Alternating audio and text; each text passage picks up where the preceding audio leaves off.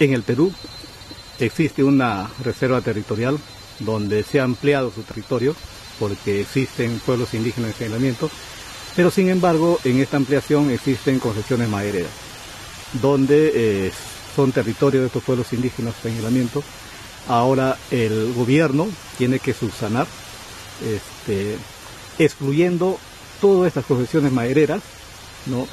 donde se ha ampliado esta reserva territorial para que eh, los pueblos indígenas sigan viviendo como cualquier humano en este planeta.